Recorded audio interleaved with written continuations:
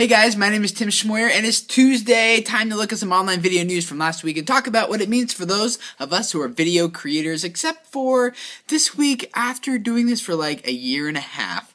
There's usually a lot of stuff to report about, but this was an unusually slow week. However, there are two very important things I want to tell you about. One has to do with live streaming on YouTube. The second is a fix for getting external annotations to work with your Google Plus page connected YouTube account. Let's talk about both of those. First of all, I really love Google Plus on air hangouts. In fact, we've got an awesome one coming up for you guys tonight with Maker Studios and New Media Rockstars. And perhaps the thing I love most about them is the interactive nature that we can do Q&A, we can answer your questions, you can give us feedback, we can have like this little dialogue about online video. But what happens if you jump into a live hangout after it's already started, but you want to go back and catch up a little bit? Or maybe you're participating live, but you kind of missed something that someone said and you're not really sure what they're talking about anymore, you just kind of want to back up a little bit. Well, that DVR-like functionality is rolling out, and some people have it, others don't yet. I am one of the people who don't quite have all of it, but I do have one little bit, and I assume most of you would have this by now also, and that is if you put a live Google Plus Hangout on air on pause, you'll see that the red light next to the live word down the YouTube player turns off. Obviously, that means you are no longer live. And if you click play, it'll continue playing exactly from where you press pause, meaning you are then forever behind if you just watch it in real time. But if you'd like to skip to jump up to real time again, you just click on that live word and that gray dot will turn red again and boom, you are live enjoying it in real time with everyone else once again. Pretty soon you'll be able to actually scrub backwards and forwards and just like you would a normal DVR, but this is a great step in the right direction. I want to give a hat tip to Ronnie Bincer for bringing that to my attention. If you guys want to learn more about that, link is in the description text below this video. Go check it out. And the second thing we want to talk about is if you have connected your YouTube account to a Google Plus page. You've probably been enjoying a lot of the features that come along with that, like multiple managers and lots of other stuff. But one of the downsides is that it seems to have broken the ability to have annotations that link externally to your website. That certainly was the case for me, and no matter what fix I tried, none of it seemed to work, except for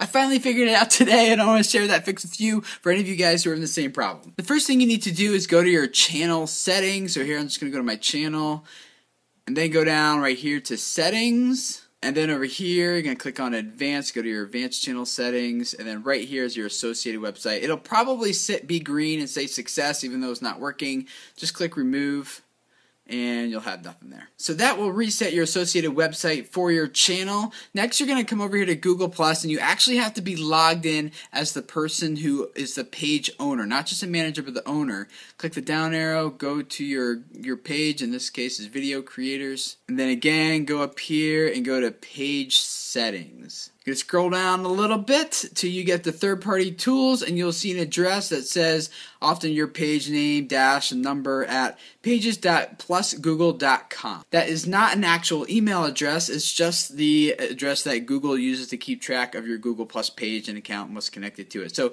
you're going to want to copy that whole thing and then go to your webmaster tools and you should have a list of your websites here.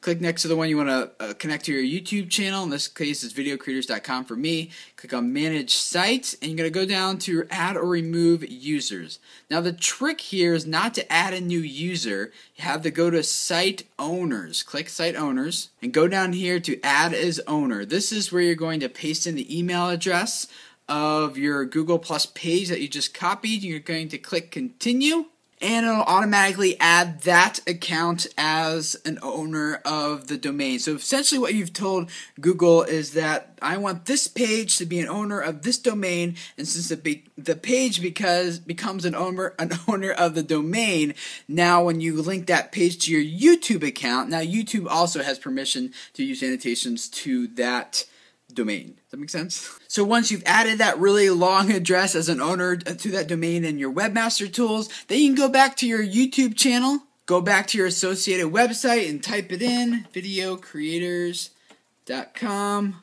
click add and success. Now, when you go and add an annotation that links to your external website, in my case, videocreators.com, it will work. So you're welcome. Hopefully that helps some of you guys who are being really frustrated with that bug like I was. And for the rest of you, hopefully that's helpful if you ever do run into that problem. And thanks for hanging out with us. If this is your first time here at Video Creators, welcome. We'd love to have you subscribe. Every Tuesday, we take a look at online video news and talk about what it means for those of us who are video creators. On Wednesdays, we give you guys some YouTube tips and ideas and suggestions just to you guys out. And then on Thursdays, we do Q&A, answering your questions about the stuff that you're experiencing, running into, problems you're having, questions you have about online video, YouTube, whatever, just to help you guys who have a message that you're trying to spread really help it effectively reach the people who need to hear what you have to say. So I love helping you guys with that. Thank you for letting me be a part of that with what you guys are doing here. And please subscribe, and I will see you guys again tomorrow. Bye.